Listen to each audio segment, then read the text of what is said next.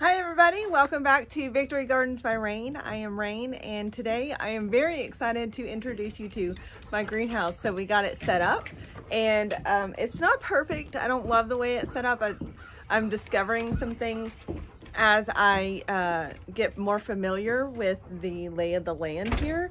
Um, if you didn't know, we are new here. This is our new home and it's gonna be our new homestead. Uh, so I am We've only been here since November and it is February the 6th today. So I'm still very much learning the land.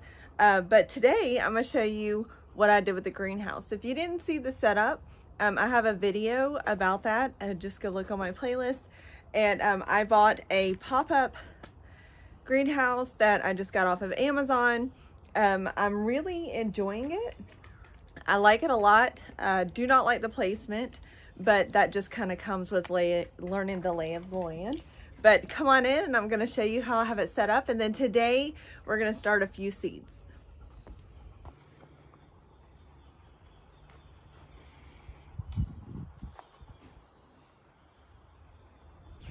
So this area right here is my uh, kind of planting table, my, I don't know, potting bench type situation.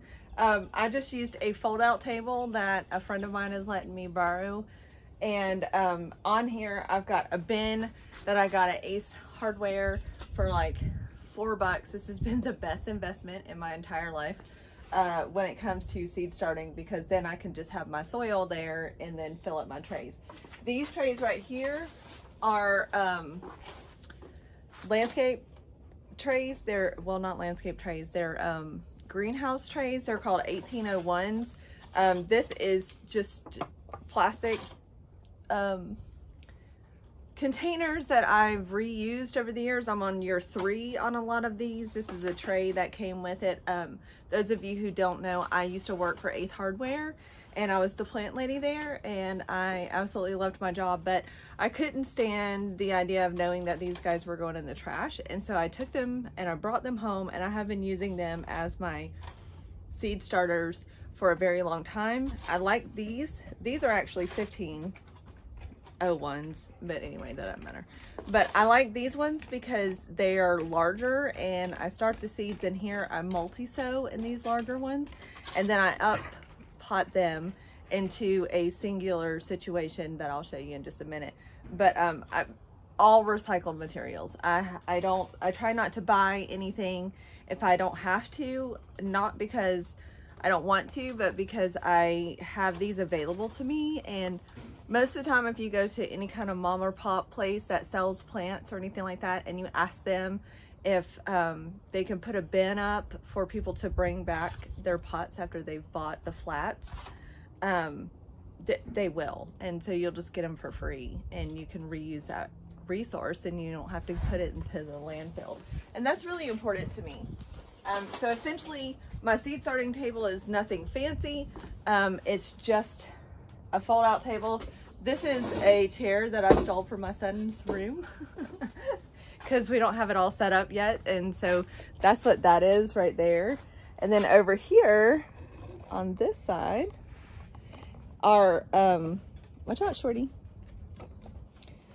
These are just metal racks that my husband and I got, I think from Home Depot for $60 a piece.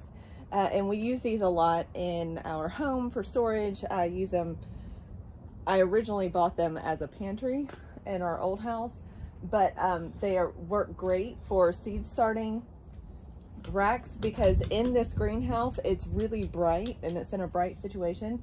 So I don't have to have grow lights on here and um, the natural light that's infused by the plastic actually takes care of that. So it eliminates the, the need to have a lot of seed starting supplies um, and I live in Georgia. I'm zone 7B, 8A. With the new zone change, they say that I'm 8A now. But because I know Georgia and I know its weather and she a little bipolar, so I tend to err on the side of 7B still. And I use, which zones don't really mean anything except for is all the common frost dates and so it's really not that big of a deal if you don't know what I'm talking about there. Don't worry about it. Um, but anyway, I tend to be, uh, go into that. I say that because uh, we are warm. We don't get really cold here. I haven't had, but maybe six or eight. I'll have to go back on that and see, or you guys can Google it. But we've only had a few nights where it's dropped below freezing this entire winter time for an extended amount of time. So starting my seeds out here is completely feasible because the inside of this greenhouse stays warm enough to where the freeze doesn't touch it. Now my house plants don't like it out here. I had to move those inside because uh, the temperature is not regulated. It doesn't stay a certain amount of time or a certain temperature. Like today, I am standing inside of here. The It's 50 degrees outside today and um, it's hot in here. Like I'm, I'm going to go and eventually get me a um, thermometer to put in here, but I just haven't done that yet just because I haven't got out yet much. But um, anyway, so I have these, and so what I do is I'll put my transplants over here, and then I like it because I have, again, these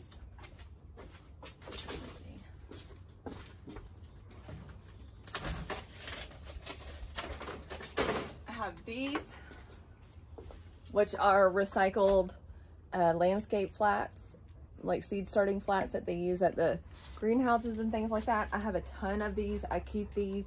I love these. Um, and then as they age, yeah, I think I'm on probably year five on some of these right here. And as they age out, I just try to recycle them. Um, but I can always get more with the resources available to me. So I, again, I try not to invest a lot of money in the seed starting because where I live, seed starting isn't a long extended process. So you want to get your things started, you know, it's February, like I said, it's February 6th. And so usually I focus on whatever flowers I need to start and the tomatoes and peppers. There you go. Thank you. Jackson brought me some lunch because I won't eat otherwise because I'm so excited. Thank you, Bubba. You're welcome. Um, so anyway, that's just kind of a breakdown of this situation over here. And then this right here, this tray right here, I don't know how well you can see it.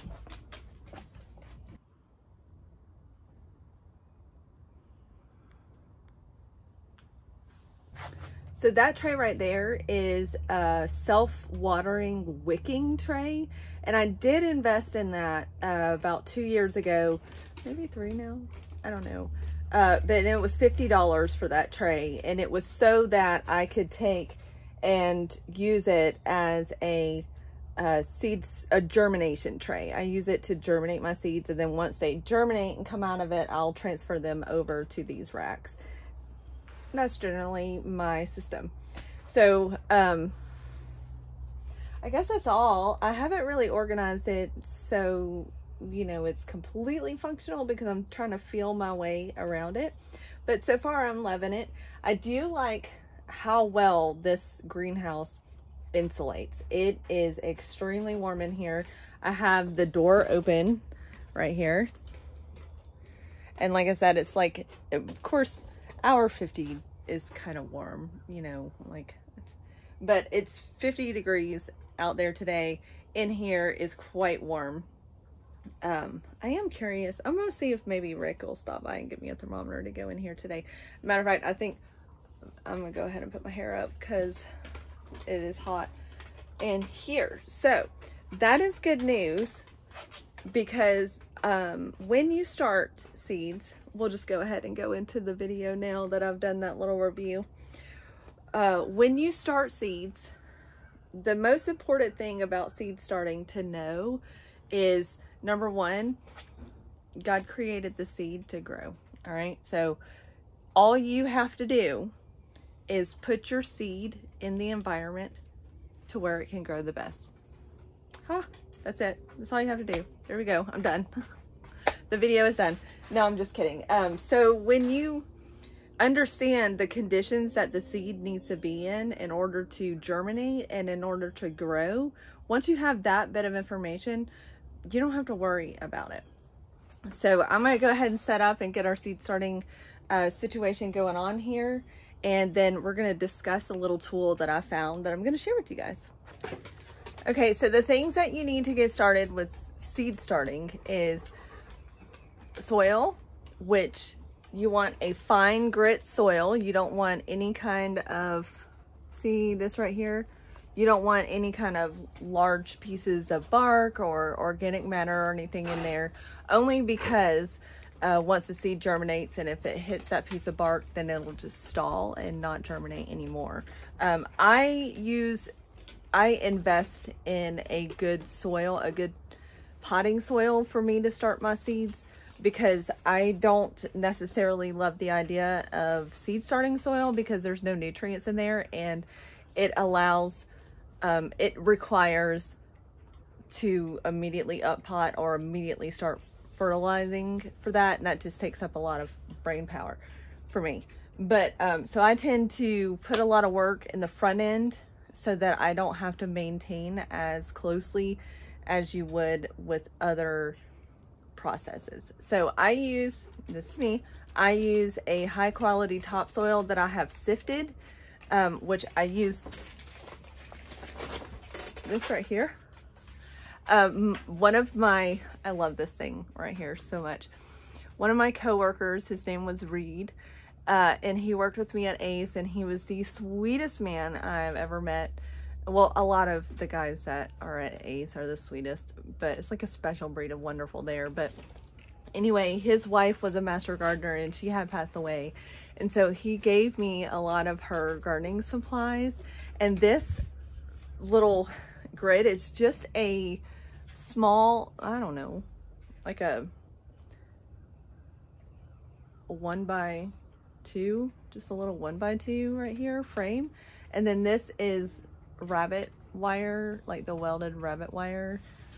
And you just put your soil there and you just shake it and it sifts out all the big bits. And that's what I do. So I just set this over it and I put my top, my potting mix in here. And so the smaller bits fall down in my tub and then the larger bits I just put back in the bag because I'm going to use it for up potting things like that because it's still good soil.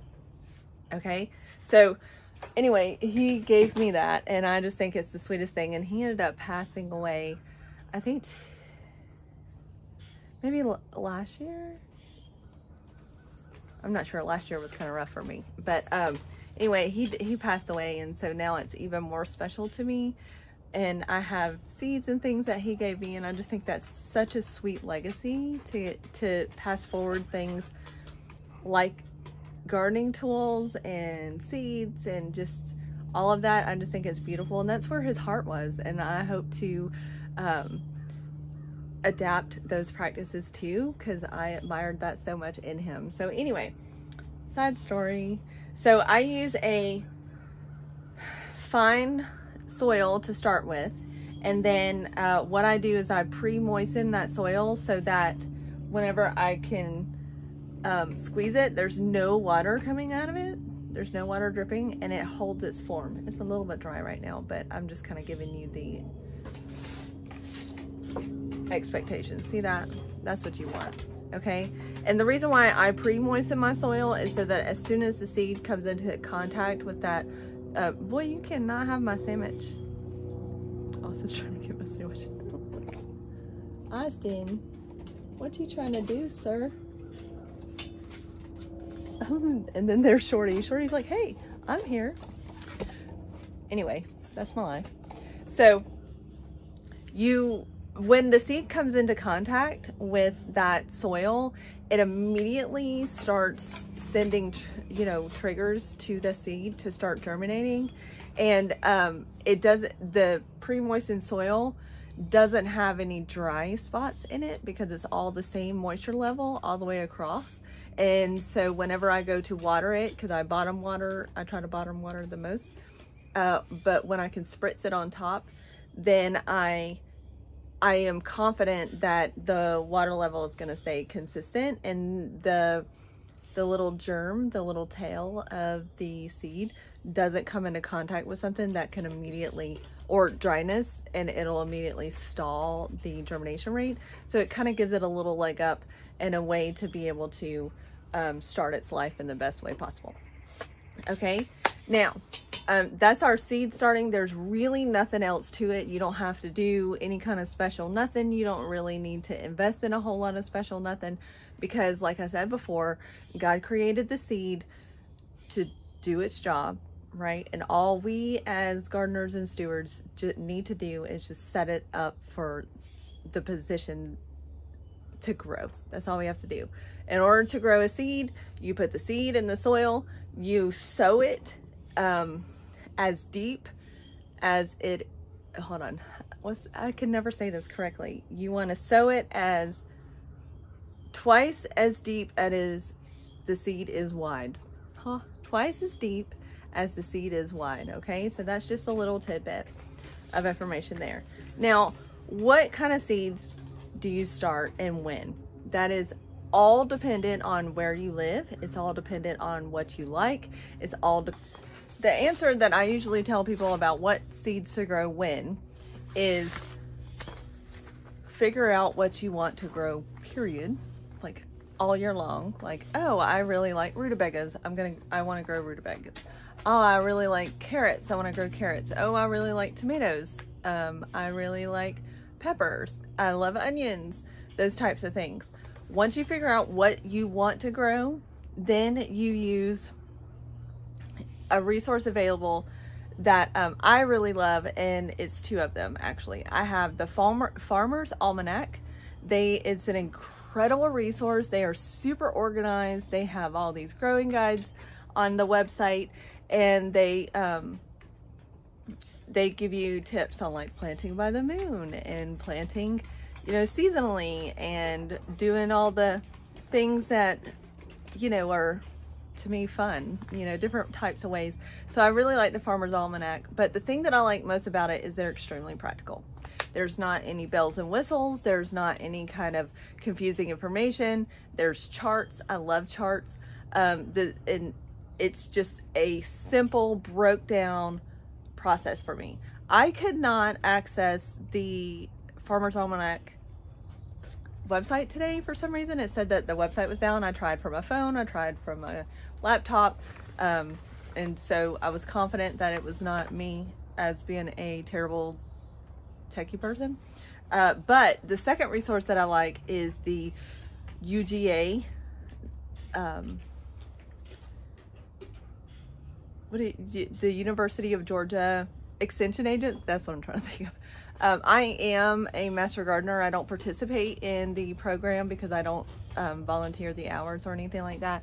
But I did go through the study and I really love the way that uh, UGA set up the master gardener program. And I'm sure it's like that with any state that you're in. But the UGA extension website has this, which I don't know if it's backwards to you or not. Um, but it's the vegetable planting chart. Okay, I just played that back to make sure it wasn't backwards to you. But this is a really, really great resource. It took me two seconds to print it out. And um, on here, it has the different columns. You have the vegetable that you want to grow. And so you can look down through here, the days to maturity, the different kinds of varieties, which if you're anything like me, there's a bazillion out there and you're going to buy all the seeds. And then when you can plant it in the spring, when you can plant it in the fall, how many seeds per 100 feet, which um, if you kind of want to get into that, we'll get into that another day.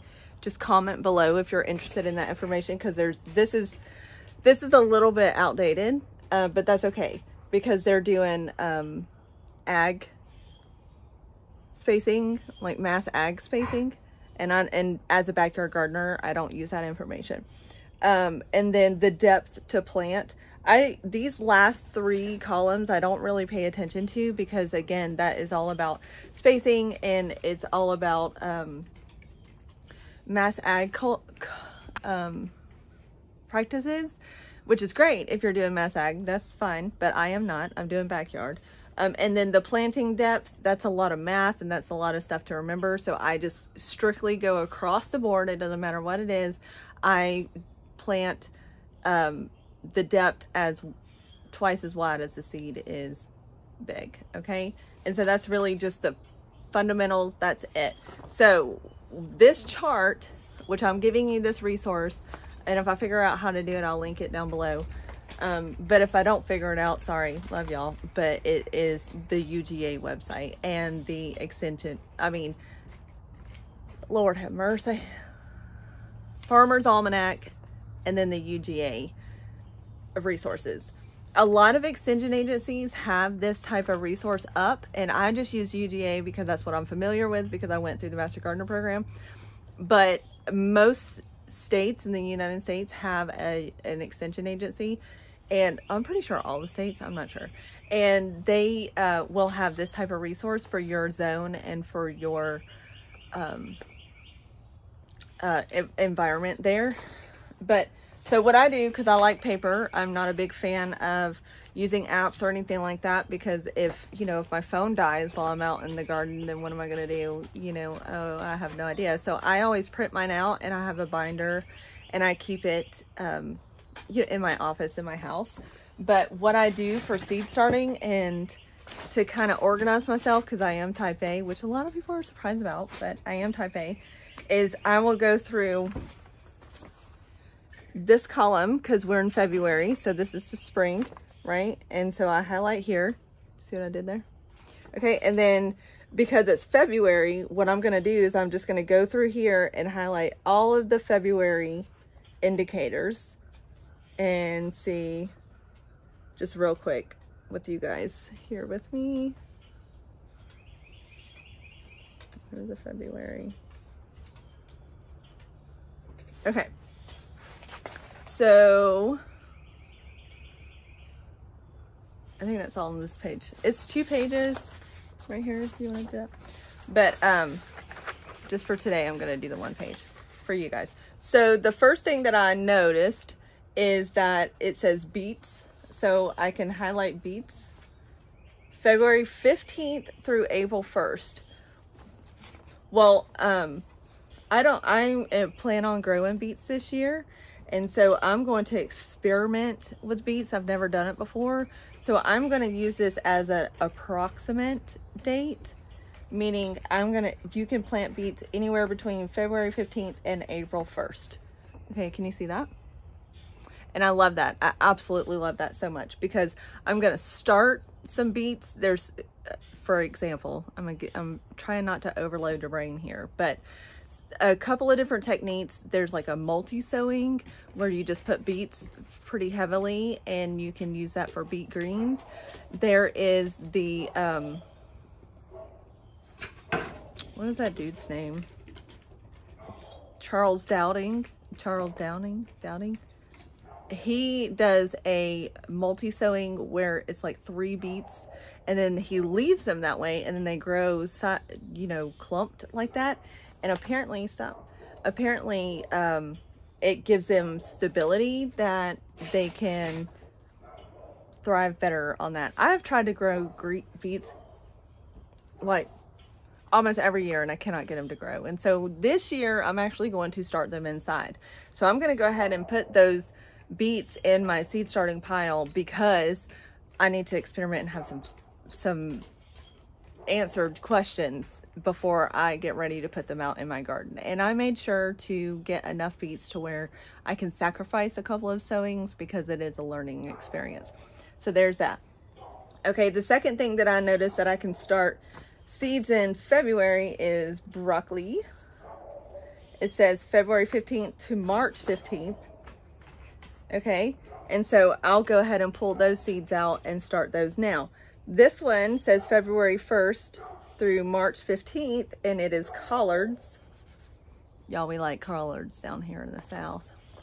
Okay, and so I'll go ahead and pull those out. This chart says the next thing in, I'm going cross-eyed here. The next thing is kale. All right.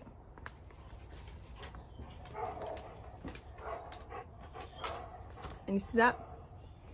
Okay, so um, that is a general way that I use this for starting seeds. Okay, I'm to put a little caveat here. I'm to put a little, and here's an extra tip. All right. the on this chart this is why I, I say use these charts as a guideline and not as a cemented resource because on here it says where did I see it? Oh, eggplant. It says to start eggplants April 1st through May 15th. This right here is the planting date. You see that? Planting date. That is not a seed starting date, okay? That's when you want to put them in the ground or, you know, have a transplant ready or something like that. But I use this as a guideline, okay? So the best thing for you to do, and you can have this as a resource, but I only have echinacea right here beside me. But let's pretend this is eggplant. It says um, on your seed packet, your seed packet has a lot of information on it. Okay, it has this over here. This is the type of plant. This is your variety of plant. And on the back, it has all of this information, all your um, seed starting information. You can actually cut this out, which I don't, but you can cut this out and use this as a um, marker. On the botanical interest packets, you can actually open these up and they have a whole bunch of information on the inside to read. I highly encourage you to practice reading your seed packets because they are all different and they all offer a, a lot of different information per company. Meaning this is super in-depth, but I also have the same variety from Livingston that's not as in-depth okay? And I mean, they have the same growing conditions because that's what this plant requires, but there's more information here. And I, I the seed packet is going to be your first information resource because it's going to tell you when to sow inside and when, or if you have botanical interest, when to sow outside and when to sow inside. And it'll tell you the recommended way to do this. Again, I'm not trying to overload your information. So if you have any questions, please comment them below and I will make sure to further my information on that. But I'm kind of going fast here because I want to give you encouragement to play in the dirt. Okay, so this one says that it's echinacea. So outside two to four weeks before your average last frost date. Okay, our average frost date they're saying now is March 24th, which it used to be April 12th. But that so that's like a a big gap there. Um, but I want my plants to be super established before I put them out. So I tend to um, start inside 10 to 12 weeks, which is what it says here. See that? Okay, so 10 to 12 weeks before your average last frost date. Right now, we are nine weeks um, before. I've already sown a couple of these. I'm going to go ahead and sow another wave of them because I really want these in my garden. Um, and so I'm just trying to up that. But the moral this whole tangent is to read your seed packets and familiarize yourself with what it tells you to do as far as when to sow them indoors okay? Because there's a big gap there. To sow outside is two to four weeks before your average frost date to sow inside is 10 to 12 so that's quite a bit of time for it to be backed up to start your seeds inside again i tell you all that information to let you know that not one person can tell you what seeds to start in february or march or april because we do not know everything that you want to plant and what your plans are for that plant. So the best thing you can do is equip yourself with the information per seed. And that just simply means to understand what it is that you want to grow for the year. I want to grow a very, very large garden this year. So I'm going to be starting as many seeds as I possibly can um, indoors so that I can one share them and so I say indoors but I mean here in the greenhouse um, but I want to be able to share them and gift them to others but I also want to be able to have succession sowing uh, and waves in case the learning curve of this new space becomes very steep. So I want to make sure that I have plants available to me because plants are expensive. Starting seeds are is the most economical way to have as many plants as you want because you can go to a big box store, which shall not be named right now, and pay for one cabbage plant five to seven dollars when one cabbage plant equals one cabbage and you can go to the grocery store and get an organic cabbage for five to seven dollars. I don't know really. I don't i don't know how much it is now because it's nuts out there but like it's just not economically smart to be able to to go and pay that much money for one plant. But you can get a pack of cabbage seeds and pay $2.99 to you know i think the most expensive cabbage pack i cabbage patch cabbage pack i wanted to buy was like four bucks or something like that and it's a specialty cabbage um, and so it's just it's a lot more economical to start them from seed. What I'm trying to say here is that when you're looking at the overall cost of a garden and when you're look, looking at the varieties and things that you want to grow in your garden, especially the availability that is in your grocery store and in the market, um, starting seeds is the most rewarding and the best way to get the varieties and the things that you want in your garden without paying a lot of money. And, and grab a seed pack of cabbage. This company is Baker Creek. I really like this company. They're an heirloom seed company. Um, but this tends to be more of the higher end uh, cabbage company because they're heirloom and because they do a lot of intentional things with their seeds and to harvest their seeds. They partner with um, what do you call it? Like they partner with farmer owned farms. I don't know how to say that, but sustainable farms all over the world. And then they bring in different varieties for us that are heirlooms. Heirloom simply means that is over 25 years old um, and that it's been around for a long time. Okay. I am a sucker for heirlooms, not for production, but for the story and for the joy of experiencing growing new things. Um, but anyway, tangent. This is a cabbage, okay?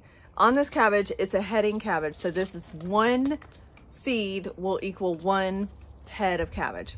All right, I went and got this because I don't know how well you can see that right here. But in this one seed packet, it has a minimum of 300 seeds for $3. That means that I paid, you know, whatever that math is, 10 cents a seed. Yeah, I'm just going to let that lay there. Okay. So, um, that for me to go and to buy a plant at a big box store and pay $5 for one head of cabbage is completely crazy. Like it's just, it just blows my mind to think about because I can put these seeds in the ground. I can direct sow them where I live. I can start them here and then I can have succession plants going on throughout the season for less than I would pay for an organic cabbage at the grocery store. Okay. But let's go back to the seed package. So I'm growing. So I hope that encourages you to just go ahead and get you some seeds. Um, and if not, you can go to, if you can't afford to buy seeds, which I was there for a very long time, I would just talk to my friends and people who are also in the garden community and we just shared seeds or or like me and several of my friends this year are going in on seed purchasing because this is three dollars i mean a lot of times you don't have three dollars just to spend on one variety of one plant that you know that you need several of so we are all excuse me, going in together. And a lot of these starts that I have right here are where my friends have come over and we have started seeds together and shared our seed packets. And I'm just going to care for them because I have the resources available right now. And we tag teamed that. So please keep that in mind. You do, gardeners are not meant to garden alone. I fully 100% believe that. So anyway, what I want to tell you about the seed packet is, uh, let's turn it this way. Can you see that? So right here, it says the seed will sprout seven to 10 days. The ideal temperature for the seed to sprout is 50 to 75 degrees Fahrenheit, which means that's how warm the soil needs to be. In here, I do not have any um, heat mats going because it stays warm enough in this greenhouse for the ambient temperature to keep the seed, no, the soil warm enough for our cool weather crops to germinate. Um, and so anyway, so there's the soil temperature. You put it about a quarter inch deep, which is twice as wide it is big. And then the plant spacing is null and void. Frost hardy means that it can get cold, it's okay. And then um, it needs about six to 12 hours of sun. There's your information right there. So I know that to grow cabbage, that I need to make sure that they will grow in my greenhouse because the soil stays above 50 degrees. I know that they will um, sprout in about seven to 10 days. So um, if it's been, you know, Cindy, Cindy and I planted last Thursday, which is about five days now. Um, and there has been no activity in my little seed starts right there and it's okay because I know about seven to 10 days is when I need to be looking for that. It's on the seed packet. The seed packet tells me. Okay, so just kind of figure out, and different varieties will have different conditions because they're they're like us. You know, I'm not the same as my friend Cindy. She's tall, I'm short, and that's okay. you know, she's blonde, I'm not. Well, I think she's blonde yeah she's blonde. She's gorgeous. It doesn't matter. So but she um she's different and i'm different. So my conditions to thrive are different than her conditions to thrive. And it's the very same way per each variety which is not overwhelming for you. Uh, don't let that be overwhelming for you. Just inform yourself. Inform yourself on what it is that you want to grow for to feed your family or even to just start. And then just focus on that season for now you know? Okay so now that we've covered all of that other information let's talk about the different varieties that i'm actually going to start today. Um, so the other one i forgot was tomatillo. Tomatillo? Tomatillo how do you say that? Anyway i'm pretty excited about this. I have started watching a chick on YouTube, uh, Acre Homestead, and she does a lot of cooking stuff, and she in inspired me to be a little brave with coming, uh, with preserving my food, and so I am going to grow more things that I want instead of buying them at the grocery store. So one of the things that I'm going to start today, well, we're going to start the cabbage okay, is the this Tomatillo Verde, the purple Cobain, and then the this purple, which this one's open already. Okay. And then I'm going to go to my tomatoes. And I'm really excited about this. So with the supplier that I usually get my plant starts from uh, Ace at Ace. He sold his greenhouse this year, and I'm not even gonna lie, I am in great mourning of that uh, because he had such great starts, and and they only charged 99 cents per start, and so it was feasible for me to be able to have some little babies that I started and some that I bought as transplants, and it just kind of helped with that. But one of the the ones that he grew was, oh, I just organized it out of order was this one called the Mortgage Lifter, which is an heirloom variety that's supposed to be super high productive, highly productive. I don't know. All right. Anyway, so I'm going to grow that. I'm going to grow Abe Lincoln. I'm going to grow Heinz. I'm going to start Gladiator. And this is a cherry tomato called Sweetie. I'm going to start that. Uh, I'm to do one round of Romas. And then this just says large red. I'm not really sure of what type of variety was, But when I ordered from Southern Seed Exposure, which is a great company, um, they it just said large red, but these did really well for me. So I'm gonna try that again. I've got Glacier that I'm gonna try. The nope, not yet.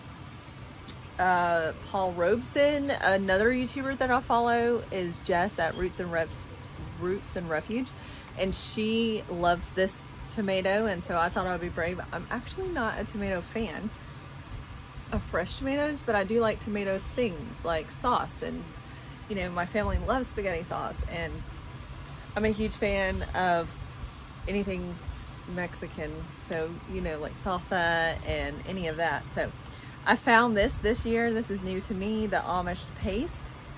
Um, so I'm gonna try that. I've got this one, which is really pretty. I'm gonna try. My friend Bryce gave me these orange accordions and I have tried for, I think there's a few seeds left in here. I tried two years ago and didn't get anything and I think that was 100% my mess up. Last year I grew them and we ended up selling my house, our old homestead, before the these were fully ripe. And so I've yet to try these, um, but I was very excited to bless them forward so that the people who moved in, they had these and they're so fun and so pretty. So I'm really excited about that. That's from my friend Bryce. He's absolute sweetheart. He's young. Well, he's in love now. He's old enough. Um, I think they're getting married. I think they get, anyway, uh, he's one of my babies. I consider him a baby. So I've got black cherry, which is my family's favorite snacking tomato. It's a cherry tomato and um, it's, uh, it's purpley color, but I cannot keep these on the vine. So I'm actually gonna start the entire pack here so that I have multiple of them because I would like to preserve it to where um, I can make a sauce out of it. Like I saw this viral TikTok um, video which is I don't have TikTok, but uh, it's where they do the cherry tomatoes and then the basil and the mozzarella and then they stick in the oven with some orzo and then it turns into like a situation or maybe there's like I don't know some kind of seed I mean some kind of melty cheese in there and it's just it just looks amazing so I want to try that. I think I already did an Abe Lincoln. Yep. Okay so that one's going back uh, I got this this year, which is the Berkeley tie-dye. Isn't that the most beautiful thing you've ever seen? I'm really excited about that because I want to have beauty in my garden. If I'm going to work this hard, I want to be excited about what I'm growing. This white tomato was a free seed. If you order from Baker Creek, they give you, you know, you spend a certain amount of money and they give you free shipping and then they give you free seeds, which I think is awesome because, hey, gardeners don't like to garden by themselves. And then I got this one, which was a really good, um, I'm gonna call it a salad tomato. I'm not really sure what it's categorized as. But it says classic cherry flavor that has been largely lost over the years. And so I'm really excited about doing um, recipes with that as well. And then this is Sunrise Bumblebee, which became pretty popular a couple of years ago when heirlooms became kind of like the gardener trend is to go and do fun heirlooms. Uh, and my daughter really likes these. And I do not have seeds to Sun Gold, but I hope to get a Sun Gold tomato. So I'm actually going to be growing all of these different types of tomatoes this year. And I am um, going to be starting them today with you, doing the multi-sow technique. And so what I'm gonna do is, just for this video, I have all of these seeds that I'm starting today. But for the sake of this video and how long it already is, I'm just gonna kind of fly through the rest of it and I'm just gonna show you my um, technique. But what I like to do when I'm sowing tomatoes, it's tomatoes, peppers, and um,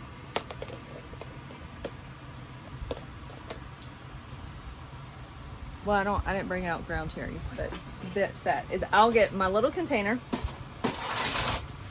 and I fill up one situation with soil and then I put a bunch of seeds in this one situation. And so this entire thing. I thought I thought it was already open and I thought I would mess it up. Okay. So this one thing will have every one of these seeds in it. So I'll have, you know, 30 seeds germinate in this one situation because tomatoes are really easy to separate from the soil uh, as they grow. So this keeps my seed starting space down to a minimum and I can use it all my space wisely but it also go aheads and give go aheads go ahead I don't know y'all.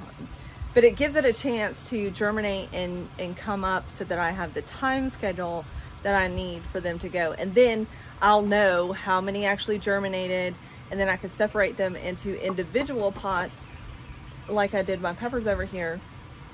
And whatever I have left that I'm not going to put in my garden I can gift forward.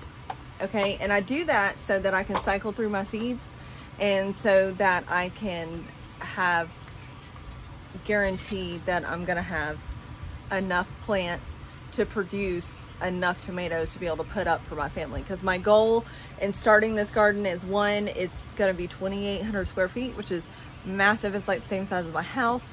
And two it's going to um, uh, hopefully prayerfully feed a lot of people because my heart is to grow so much food that the abundance takes care of the people in my community who wouldn't usually be able to afford organic food.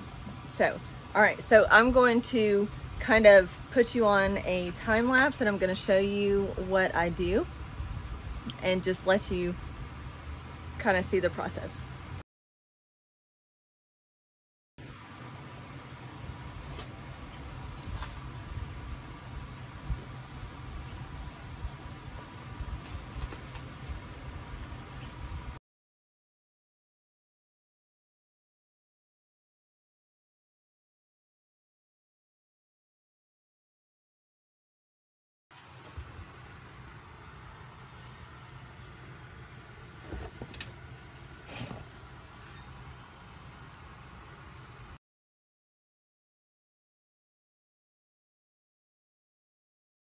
All right, so now after I've filled up the soil, which I tend to kind of not pack in there because you want to have air circulate through your soil, but um, I tend to fill it up pretty full because I'm multi-sowing and there's going to be a lot of seeds in there. Okay, so then I'll take and I'll go through my seed packets and I'll get my dandy label maker. Uh, I got this at Walmart and it was like 39 bucks or something like that. And I really like this one because the label making tape is plastic. So it has, uh, it's waterproof. And so what I do is I will go on each container and I'll take my stack of seeds right here and I'll just, whatever one's on top, uh, it'll be a tomato, glacier, and I'll make a label and today's date. So today is the 6th.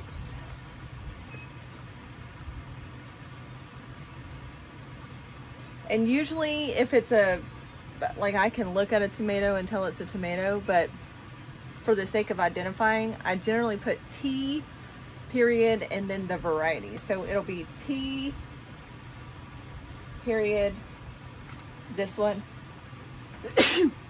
Excuse me. This one is Glacier.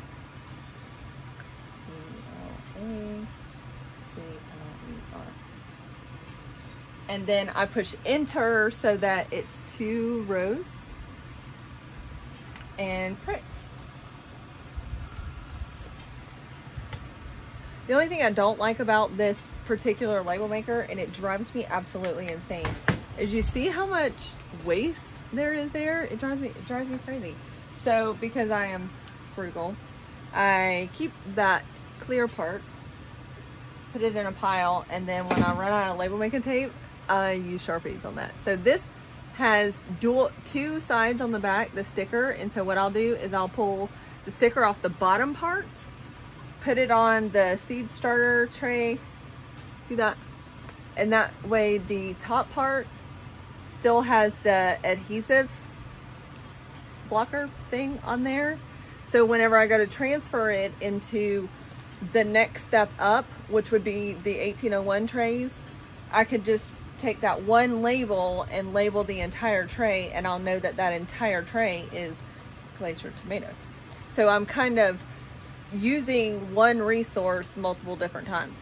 And then if I have sense enough about me and it's about a 50-50 shot, uh, I'll actually take the same label and put it on my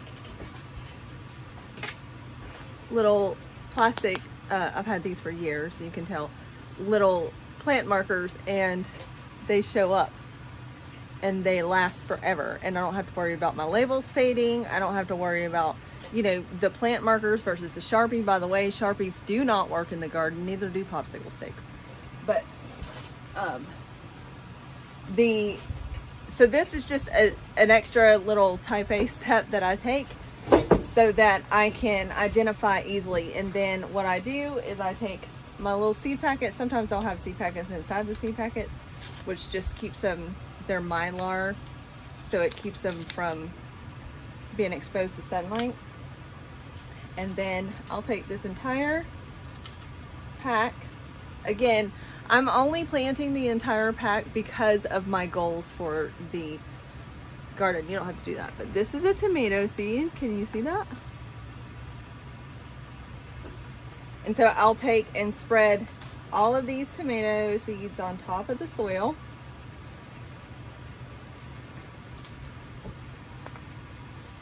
I don't know if you can see them, the little babies. And then I will take my little boop stick. I found this feather. Actually, I don't even know where it came from. I don't even know what kind of feather it is, but I found it. And I'll take and just kind of boot the seeds just a smidgen into the soil so that they're covered.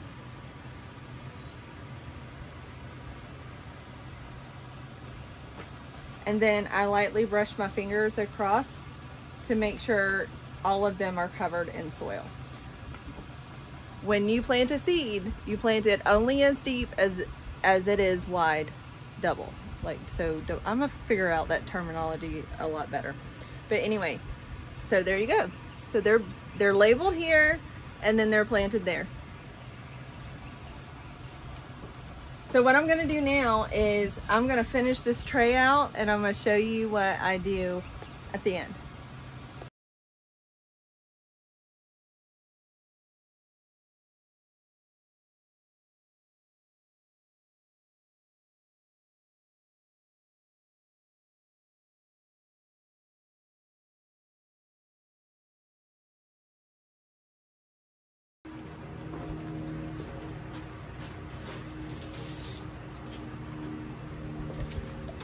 Now that they are done and labeled, I'm going to place them on this seed starting tray and I'm gonna water them in and leave them there.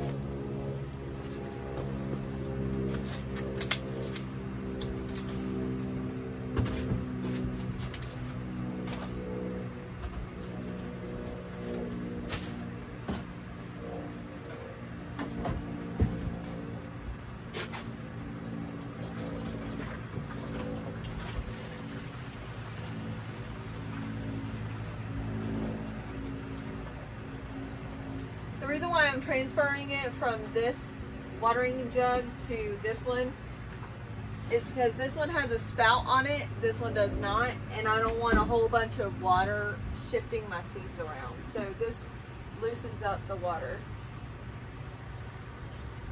So right now I'm just watering in the seeds so that they are wet and I'm bringing all of the soil moisture to the same level throughout the entire thing. So I'm gently watering in the seed.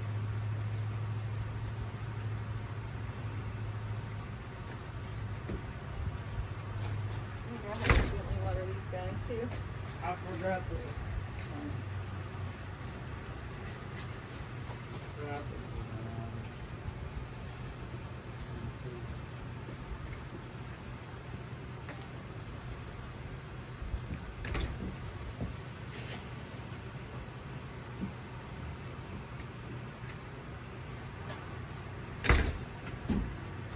And then we're done. So the main thing to remember with seed starting in any way is that God created the soil. Uh, well, He did. God created the seed to germinate and to grow. So don't stress about that part. Just remember to put the seed in the best possible environment so that it can grow. And in order to do that, just research what type of conditions that your seed will grow in. Okay, make sure that your soil does not dry out. The second it dries out, um, it, it could potentially cause the seed to shock and then it won't germinate or and then it will have already went through a little bit of the germination process pause and then you've lost that seed. So just the main thing is is make sure in order to germinate the seeds make sure the soil stays moist the entire time. Once the seeds come up and they are considered seedlings. That's when you want to provide the light and that's when you want to make sure that they stay uh, exposed to you know natural sunlight and things like that. And then when it starts turning from a seedling once you get your true leaves which are the first two leaves you want to start using a liquid fertilizer. I use